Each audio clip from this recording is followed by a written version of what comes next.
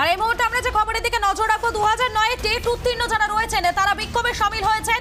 নিয়োগের দাবিতে বিক্ষোভ আজ বিক্ষোভের সাতাশতম দিন। গান্ধী মূর্তির পাদদেশে চলছে বিক্ষোভ। আমাদের সঙ্গে সরাসরি রয়েছেন আমাদের প্রতিনিধি তনয়া রয়েছেন। আমি তনয়ার কাছে চলে যাব। তনয়া এই মুহূর্তে যারা রয়েছেন সেখানে তাদের কি বক্তব্য? তারা কি দাবি করছেন এই মুহূর্তে?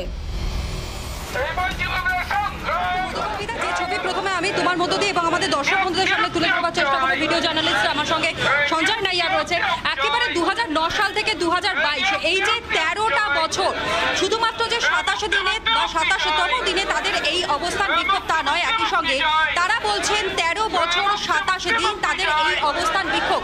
এতগুলো দিন তারা অপেক্ষা করেছেন যে পাঁচটি জায়গায় মূলত মেধার ভিত্তিতে পরীক্ষা এবং একই সঙ্গে রিক্রুটমেন্ট হয়েছে, নিয়োগ হয়েছে। সেখানে শুধুমাত্র দক্ষিণ চব্বিশ পরগনার যারা চাকরি প্রার্থীরা, তারা বঞ্চিত রয়েছেন উত্তর চব্বিশ পরগনা মালদা হাওড়া এবং একই সঙ্গে পূর্ব মেদিনীপুরের বিভিন্ন জায়গায় যেখানে চাকরি প্রার্থীরা তারা অংশ নিয়েছিলেন এই পরীক্ষায় তাদের চাকরি হয়ে গেছে কিন্তু কেন বর্তমানে সরকারের সদিচ্ছা বা বর্তমানে সরকার এখনও পর্যন্ত তাদের কথা ভাবছেন না তাই নিয়েই তারা রীতিমতো এখানে শুধুমাত্র স্লোগানিং করছেন তা নয় সাতাশতম দিনে তাদের আজকের এই আন্দোলন গতকালও আমরা দর্শক বন্ধুদের দেখিয়েছিলাম নবান্ন যাওয়ার পরিকল্পনা তাদের ছিল কিন্তু নবান্ন যাওয়ার ঠিক আগের মুহূর্তেই প্রশাসনের তরফ থেকে তাদেরকে আটকে দেওয়া হয় শুধু তাই নয় তাদেরকে আশ্বস্ত করা হয় যে আলোচনার ভিত্তিতে যাতে তারা তাদের এই সমস্যার সমাধান করেন কিন্তু আজ তারা পথ চলতি মানুষজনের কাছ থেকে গণস্বাক্ষর সংগ্রহ করছেন যে ছবি এই মুহূর্তে আমার সামনে রয়েছে এবং একই সঙ্গে জোন দেবতার পর্যন্ত পুজো তাদের করতে দেখা গিয়েছে অর্থাৎ সমস্ত রকমের কালো মেঘ তাদের এখানে সরে থাকে এমনটাই কিন্তু তারা দাবি করছেন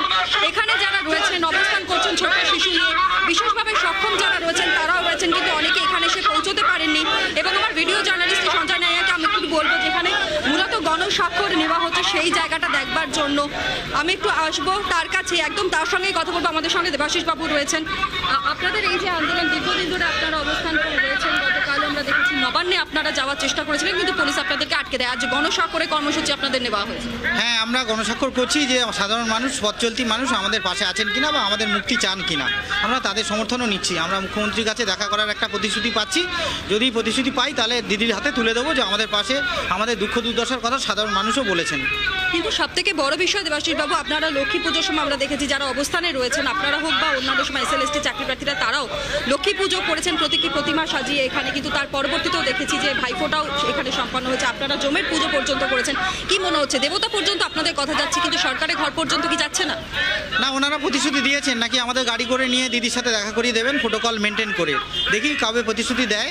আমরা দু থেকে তিন দিন টাইম চেয়েছি যে সাত দিনের মধ্যে বা এরকম দু থেকে তিন দিনের মধ্যে আমাদের টাইমটা দেওয়া হোক।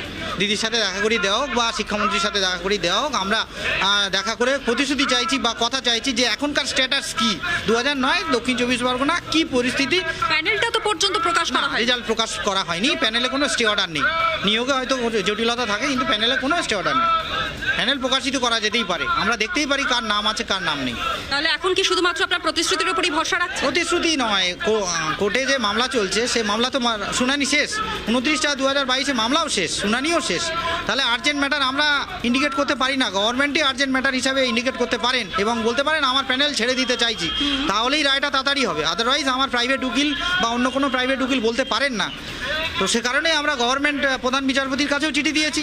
রিকোয়েস্ট করেছি অনুরোধ করেছি যে আমাদের মানে এক কথা বলতে গেলে বিভিন্ন জায়গায় তারা ইতিমধ্যেই চিঠি দিয়েছেন বিভিন্ন দপ্তরেও তারা গিয়েছেন।